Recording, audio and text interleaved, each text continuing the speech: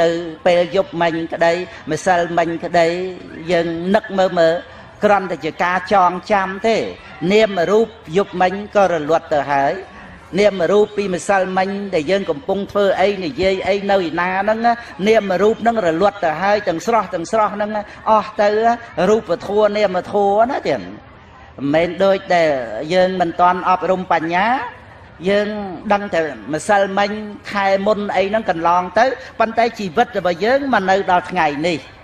អាហ្នឹងគឺជាធម្មតា ដែលយើងនៅសម្គាល់ទៅដោយនិច្ចសញ្ញាអ្វីអ្វីវាថិតថេរទៀងទាត់យើងរស់នៅបាន10ឆ្នាំ20ឆ្នាំ30ឆ្នាំ40 50 60ឆ្នាំអីចឹងមកចឹងក៏ប៉ុន្តែកាលណាបើបញ្ញាកើតឡើង គឺមានសតិសម្បជញ្ញៈ ដឹងអំពីការអស់ទៅសូន្យទៅនៃរូបធម៌និងនាមធម៌ដូចជាពេលដែលកំពុងអង្គុយមកមកពេលអង្គុយនេះនឹងឯងចឹងដល់តែពេលយើងក្រោកឡើងនាមរូបមកពេលអង្គុយហ្នឹងគឺរលត់ទៅអស់ហើយមិនមែននៅជាប់តាមដល់ពេលយើងក្រោកទេណាដល់តែពេលយើងក្រោកឡើងហើយហ្នឹងរួចទៅយើងដើរណានាមរូបនៅពេលក្រោកហ្នឹងក៏រលត់ទៅដែរកន្លងទៅដែរនឹងឯងចឹង ហើយដល់តែពេលយើងដើរទៅដល់ផ្ទះ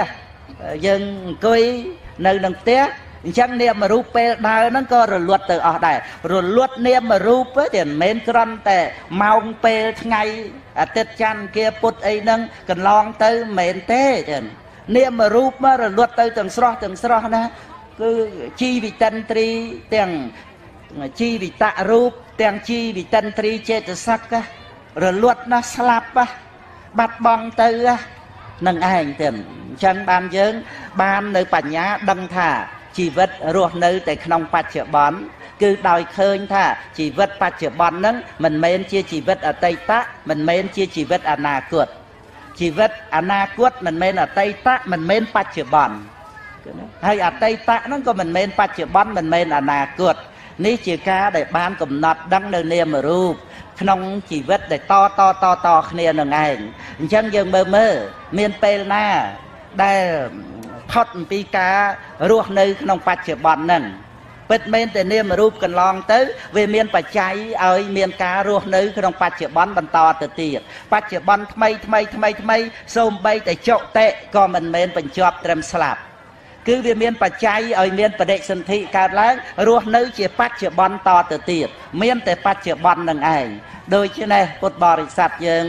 ត្រូវបានយល់ដឹងអំពីជីវិតរបស់សត្វលោកនេះប្រព្រឹត្តទៅតាមអំណាចនៃកម្មអញ្ចឹងការរៀបចំជីវិតឲ្យបានកើតឡើងរស់នៅ ក្នុងបច្ចុប្បន្នរាល់ពេលដែលជីវិតិនត្រីកើតឡើងនឹងគឺនៅលើកម្មជាបច្ច័យអញ្ចឹងដរាបណាកម្មនឹងនៅតែតាក់តែងជីវិតនឹងនៅតែរស់នៅក្នុងភពនៅតែជាប់ក្នុងវដ្តសង្សារនឹង